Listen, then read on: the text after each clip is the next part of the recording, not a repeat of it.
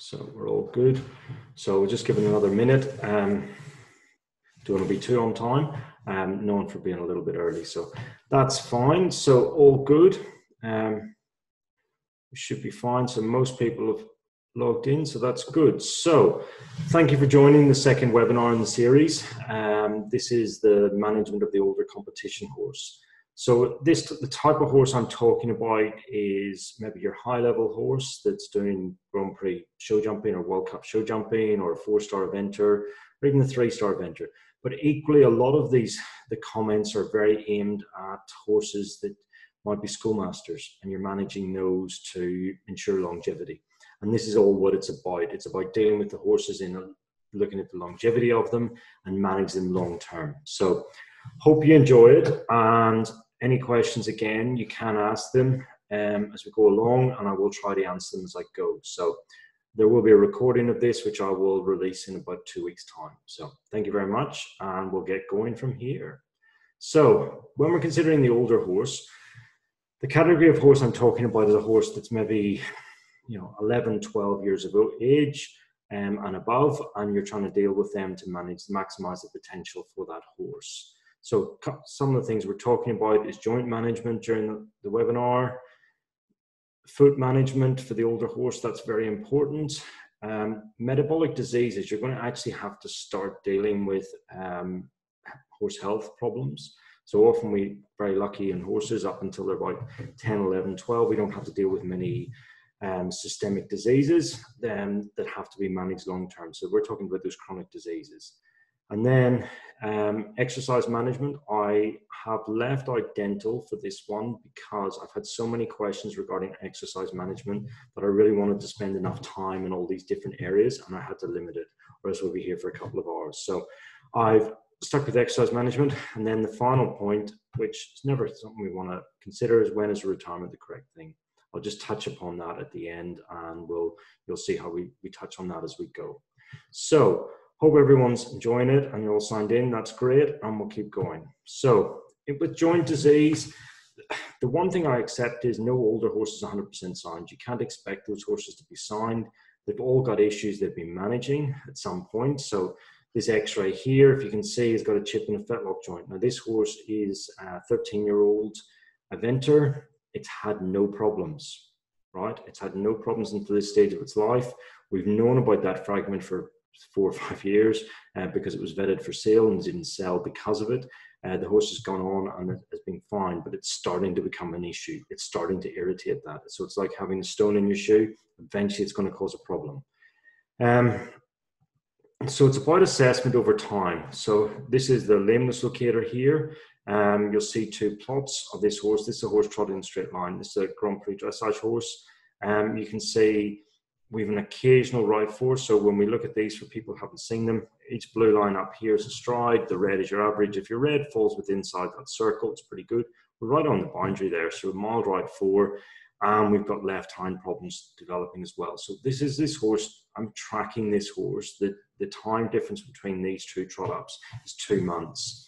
I haven't done any treatment because I'm accepting that not every horse is 100%. And as much as I aim for perfection, you sometimes have to live with what you've got and not be too uh, invasive in management of these horses. So this horse is on a management program to help his joints, but it's staying pretty static. And this horse is in full work and working hard and competing, and I'm not overly concerned. So um, the other thing, this is a horse that's got a medial hind suspensory. So anyone that's deal, dealt with a hind suspensory ligament, they'll often cause chronic lameness and be very troublesome to manage. This horse is showing no lameness, but it's got an ugly suspensory branch. The horse is competing Grand Prix dressage and competing very well. And so it is one of those things you have to just accept. Um, so let's um, back one. So, sorry. So we, are dealing with all tendon injuries, multiple limbs, and joint issues. So those are something we have to manage, um, and we have to accept in this older horse. It's about tinkering. It's the best way to describe it. It's like tinkering with an old car. You've got to just do fine tuning and fine management of it. So, so sorry, shouldn't have gone backwards. So when I'm dealing with an older horse, or the more competition horse, I'm initial my initial approach for management of these, even when I see them for the first time, is I take a holistic approach. I look at the entire horse. So I'm with that there in mind, we're dealing with your Pentosans, your HAs, uh, the joint foods and stuff like that there. So what, you, what are we using? Um, look, I personally use Arthropen as a brand. It's Pentosan as well. And, and part of that, I'll be very honest, is a cost. It's, it's a cheaper product um, than the traditional Pentosan. And so my buying power as a result, I can get it a bit cheaper and it's cheaper to the client. So with this here, one thing I will say, the tradition for Pentosan has been six mils, okay? Six mils is for a 500 kilogram horse. Not being rude, I don't know. I don't know everyone who's on this webinar. I guarantee you, if you're riding an adult, uh, uh riding a horse that's greater than 16 hands, majority of them are bigger than 500 kilograms. Okay, 500 kilograms is a thoroughbred weight, a lightweight thoroughbred. Um, so you really need to be dosing them properly. So it's eight mils. I'm using eight mils a lot of times. Sometimes I'm using nine, sometimes I'm using 10, depending on the horse. This drug is, you've got to use it based on the weight of your horse. I know it costs you more, you've got a bigger horse, it costs more to feed generally. Okay, so you've got to use it that there. How often am I using it? No, me personally, everyone's got their own plan. So when I initially start, say, a, a lame older horse, what am I going to do? I'm going to put it on a weekly course for four weeks to see how it responds to that there. I'll then try and push it out to once a month, but often I'll be bringing it back a bit shorter than that for those higher level horses or horses that have got chronic issues. Um, it works well. It's a really beneficial treatment to use, and I do like it. So I would tend to use that there on weekly basis. So at a very high level, um, you horses that are competing World Cup show jumping or Grand Prix dressage or high level eventing or got really bad lameness issues that respond well to this, we might even be going weekly all the time. And I know that's a big cost, but it, it really does. If it, works for your horse, it's very useful. So some of the high level horses I'll be on weekly for this year. Um, word of warning, two weeks before competition, stop it not because of swabbing time, not because anything like that, is occasionally they get a reaction in the muscle. So they'll occasionally get a muscle reaction, and you have to be aware of that. And I don't want you to miss a competition because of that. A stupid thing like a horse getting a reaction to pentosan. I don't want that to happen. So I'll stop two weeks out. So if you're competing, you know, you know when to do it. You want to give it time. So if you do get a reaction, we'll stop using it. Okay. Okay, so someone's just asked, at what age would you start a horse on joint injections? Look, it's a little bit of a hard question, and I, I and I say that, so I'll explain my answer. Um, the the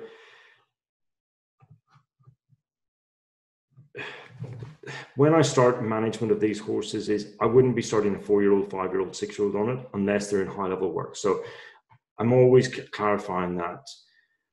Um, the it depends on the work level. So obviously, a six-year-old that's going for an example, a six-year-old dressage with the stars, it's basically competing almost medium Prix St George. Um, so that horse there, I might be starting it on some management. But if the horse is still doing elementary, I would be advising you to spend more money with your farrier, or spending money on your x-rays to make sure the feet are right because that's a great time to work on them. We'll talk about that later. Um, and i'd hold off until they're in higher level work or you're starting to get a few issues. So hope that answers it uh, for you. Um, and just a couple of people that maybe joined a little bit e- easier uh, uh, later. Um, an older horse we're classifying as 10 or 10 or 11 12 plus. Um, so hope that answers for you. Um, Okay, so let's keep going. So, oh God, I keep pressing the wrong button. I do apologize for this. So, um, HA, um, I use the brand Matrix. Again, it's from, it's from Randlab. I um, use their products quite a lot. And again, it's a cost benefit. Um, it's quite an affordable product. I know there's many different ones on the market. I tend to stick to one brand. Um, and I just use that there. So I use that there intravenously. Now that there, I might use in a younger horse and start using it um, you know, a five year old, six year old. Um, I would be using that this here for a five, six year old probably once every two to three months. Now, when we get into the older horses, I'd probably be up to monthly, to be honest, if they've got issues um, that we're trying to manage. I will be using this here um, to help them. Now, um, some people may think that's a bit aggressive, but if I can avoid avoid injecting a joint in an older horse, I'll try and avoid it if I can, um, for multiple reasons, which we'll touch on later. So that's my HA. Um, I will use it in combination with Pentosan for the, uh, the right condition, condition, and there's no reason why you can't use both together. Okay, big topic, joint foods. So Okay. So two questions um, that I'm going to answer here. Um, a couple of questions here. So good question here from uh, lady. If you had to choose between Pentosan or HA, what would what would you choose or do a combination? Look, it depends on the horse. If it's a younger horse, so in that eight, nine, ten category, I might do a course of Pentosan at the once a week. Um, once a year just to help the horse out and then use HA in between. Um, I don't find Pentosan very useful just running on it once a month or once every two months. It's a concentration dependent drug and you need to be using it at that level and getting the concentration high in the body. So I hope that answers the question there. Um, another question, have you had seen any allergic reactions to Pentosan? No. I have. I personally have not. I've known of a horse that has died from Pentosan. Yes, Pentosan should be given intramuscularly, should not be given intravenous. With any drugs, there are occasional um, there are occasional horses that have reactions to it, unfortunately, um, and so that's um, what we you, you do get the occasional horse that will get a problem like that there. So hope that answers it. Right. Now, um, H, is HA IV or intra-articular? Um, you can use it both ways. Um, obviously, it's intra-articular, it's vet only. Intravenous, you can do it yourself if you can do intravenous. I use it intravenous as a management, how I'm talking about there. So HA is hyaluronic acid. Um, and I hope that answers a couple of questions there. So, um,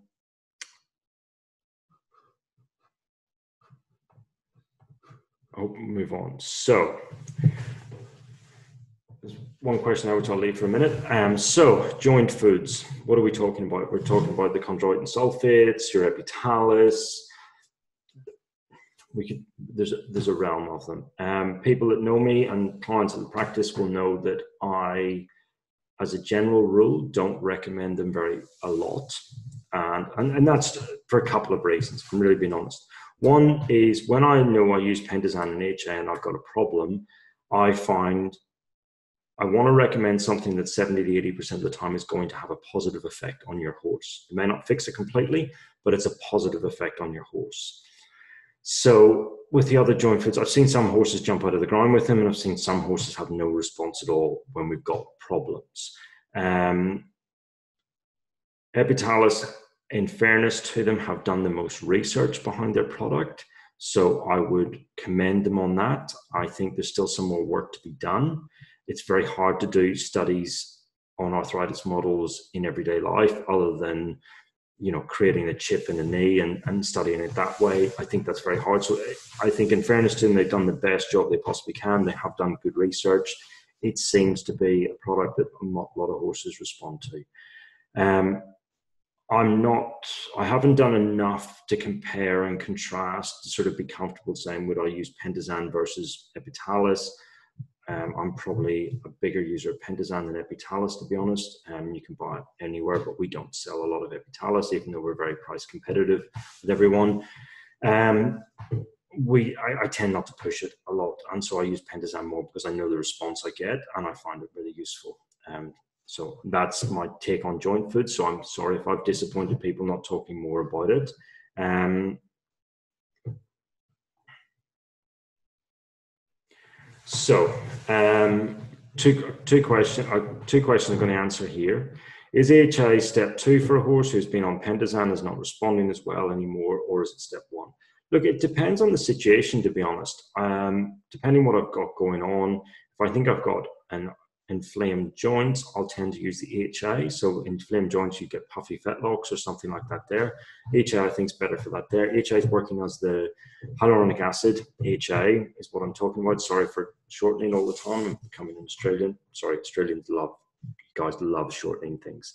So um, hyaluronic acid is a component of joint fluid it's what gives the joint fluid its bounce, its thickness. Its and so when you get an inflamed joint, the concentration of HA within the joint decreases, and so that's the the thought process behind giving it. Um, I think there's more that we really, if we're really honest, we don't understand. It has other positive effects, but has anti-inflammatory, and so it's very it's very good there. Um, so I, it would depend on the situation. So Pentosan works really well. I like it, and equal it's mix and match depending on the case.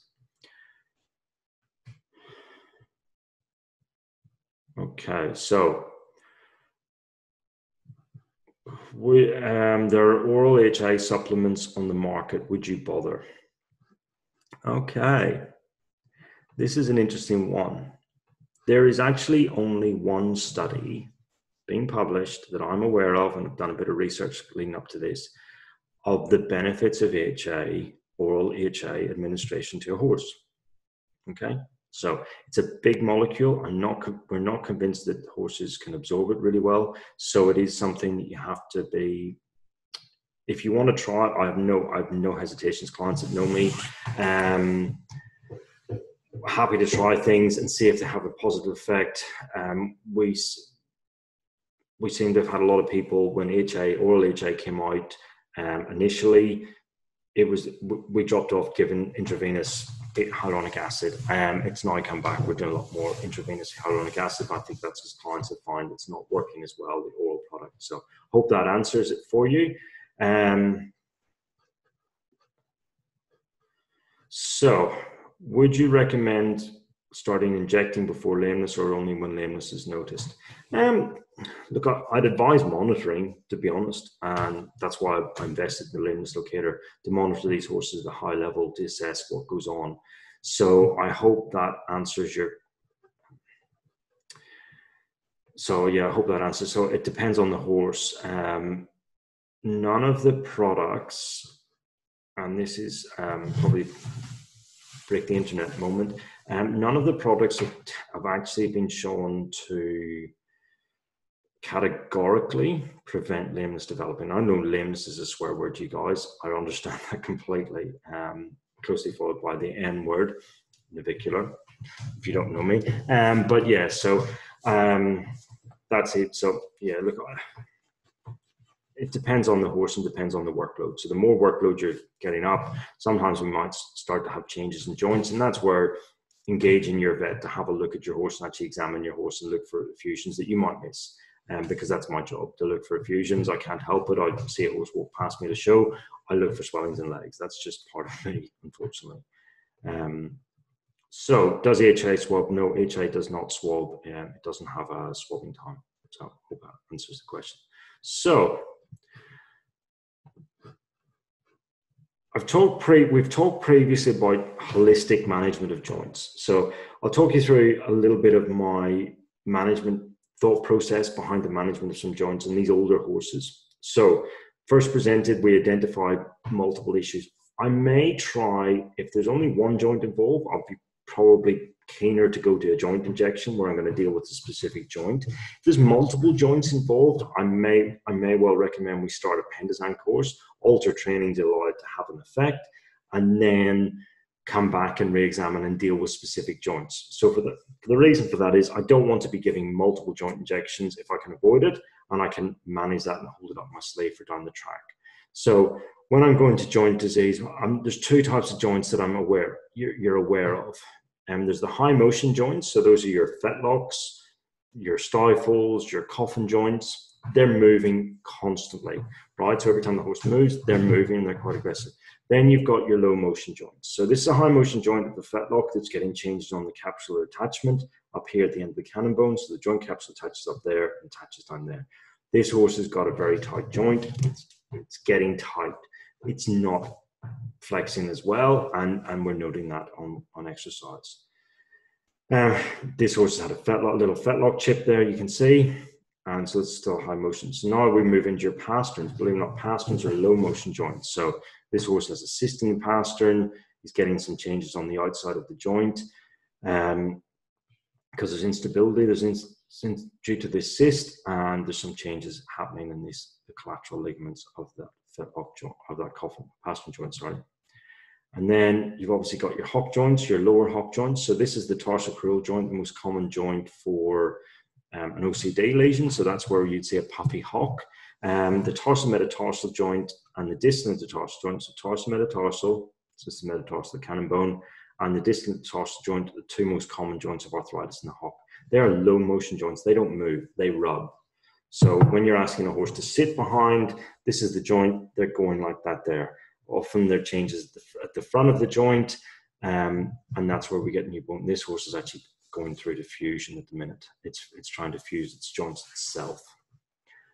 Okay. Um, when we talk about joint um, individual joint management, there's a couple of things I consider before we, we talk about the different choices. Um,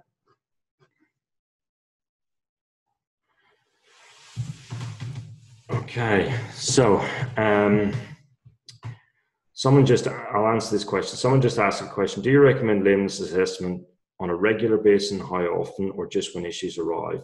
Look, um, I think for a younger horse, once a year is fine as part of a roadworthy certificate type thing when you're looking at feet and taking feet x-rays as you're getting up the grades and you're getting higher levels I, I think you need to be more aggressive in your management and assess and assessing those horses because they almost become priceless. Let's be honest, you know, replacing those good schoolmasters, they're hard to replace. Now, if you can pick up, I'll be really honest, if I can pick up a lameness that's gone from, as I showed the, the early slide where we're tracking an older horse, if I can pick that horse up when he goes from just not quite right, maybe one out of 15, and heading across to, uh, you know, one out of 10, which may not seem much, and you think, oh, well, do we worry about that? And, or it's starting to creep up. If I can treat that at that level as an individual joint management, it's going to respond so much better than when you present it to me and it's two out of five limbs. So there's older horses I would recommend sort of building into your management um, of how you assess those horses long term. So especially once you get up the grades, I think you know in the early years, I think once a year is a perfectly healthy um, time to assess them unless you're concerned. And then after that, I think you need to be a little bit more regular. So uh, once a month, maybe an overkill, depending. But for even even when we think about Grand Prix dressage horses in Australia, there's really a season where you guys are competing. And same with the eventers and show jumpers. You've got a bit of a longer season, but there is off time. So during the off time, you probably don't need to assess, but maybe assess at the end of the competition season. Is anything you need to do to put in place while they're having a break? You're doing that there Grand Prix dressage horses, you know, once you've got over your break, your nationals, and you've got a bit of a break before you, you climb back in into after Christmas, assess them for them, put in place your management. So I hope that answers the question. So, um, things to consider when I'm talking about joint management, uh, individual joints. Uh, history of metabolic disease, which we'll cover a little bit later. History of laminitis, that's really important. Um, and also, is there any tendon ligament issues involved with that there? So, an example of that there is a tarsal metatarsal joint of a hock, and we've got uh, tarsal metatarsal, and we've got a proximal suspensory problem going on behind. Okay, so those are a couple of things we need to consider and we need to be aware of. And you need to make your vet, you know, if you're calling someone new in and you've had laminitis or there's been a query about metabolic, please be honest because it does make a difference in what we do. Um, because that that's one scary word there, laminitis. It really is, um, and especially for warm bloods, it, it's it's it's really severe. So, um, with your joint injections, so we've we've two types basically. We split up into two types. You've got your corticosteroids, uh, your cortisones, and you've got your biologics. We'll call them. Okay, so cortisone is still the most commonly used um, treatment. What is it?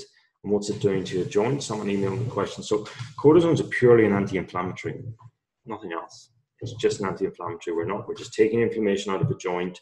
We're not fixing anything. We're not healing anything. We're just taking the inflammation out. Now, it's a very useful treatment. And I say that because it can come across wrong. You think, oh, well, it's not doing anything. It is doing something, it's, it's reducing the inflammation in that joint. Um, if you can do that there, a lot of these horses will be fine. So, example is a horse in a tarsal metatarsal joint of the hock. Cortisone's a very, very good drug. Really good drug, really good drug to use. And, it, and you might get six to 12 months out of each treatment. Um, and that's really good. So, one of the things with it is, though, it can cause laminitis. If your horse is prone to laminitis and you're giving cortisone, you have to be careful. So warm bloods are very prone to laminitis um, after cortisone. Very prone, we say, we say that, but it's just more prone than a thoroughbred. So thoroughbred's a lot more tolerant of cortisone and can cope with the bigger dosages. Um, the warm bloods, my advice, if so, an example is if you've got a horse that's got um, low grade hock issues, and we've got coffin joint problems. Okay, so and we're going to use cortisone. I'll be splitting the doses up. So I might come one day and do the hocks, give it two or three weeks, come back and do the coffin joints. And the reason for that is I probably don't want to put in much more than 12 or 14 milligrams of triamcinolone, which is the drug I would use, which is long enough acting, but not too, not that severe on the cartilage. Um, it's got a two week withholding period for hocks, 78 days for coffin joints. I will use, I'll split the dose. So the horse will get a total 24 milligrams over the course of a month, but we'll get 12 milligrams for both hocks and 12 milligrams for both coffin joints down the track. So hope that answers the question. Um, joint infection. The joint infection is a real risk. Um, it's in a very low percentage for most very for, for equine vets. We're yeah, 0.00 percent type region, but it is potentially life threatening and needs aggressive therapy. So always wary of that. Um, you know, if some some people have known, I've maybe said no, I'm not happy to do it today because the leg's filthy, the ground's filthy, and we're not in a great environment. In which case, it's better just to come back and do it another day. Save it for another day. Don't get a joint infection. It will flatten your horse. Some horses go a bit flat after it, and you have to be aware of it. Um, so for that, I mean they might go off their feed for a couple of days. Usually peaks around three to four days after cortisone treatment. You will see horses go a little bit flat um, off their feed occasionally. Just keep an eye on them we, we've seen it multiple times and, and we can track them through what they're doing and you just got to take it easy and let them come come around after it. And it's just a central effect. Um, i know for myself i had cortisone into a thumb joint after trying to sever my thumb off and it um, i slept for a week. God i felt like i felt like i'd you know been running i, I hadn't slept for two years because i was that tired. It's also got a swabbing time um, which you have to be aware of. So um, please advise your vet when you're going to compete to get them in trouble. Okay, question. Um, if a young racehorse has had its joints injected, will it affect its performance later in life once retired from racing? Um, the joint injection itself won't won't have a negative effect on the horse. So the cortisones we use nowadays, the triamcinolones or the betamethasone, Celestone is the brand name, they are quite kind to a joint. Um, some research coming out saying we need to be aware of the dosages we're giving, um, but most of us are heading to lesser dose rather than more. But most of the issues coming out of racing will be what damage has been done to the joint, not the joint injection causing it. Maybe the joint injections facilitated the horse to do more work, but it wouldn't specifically have that problem. Um, then we're looking at our biologics. Uh, these are a really good group of treatments. Um, currently, we're sort of working we've got IRAP and PRP in the clinic. Um, PRP, I mean platelet-rich plasma. IRAP is interleukin receptor antagonist protein, um, called IRAP for short.